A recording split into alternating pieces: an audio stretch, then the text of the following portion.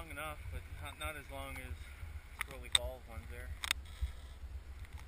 But I, I had, I was putting a lot of pressure on her too.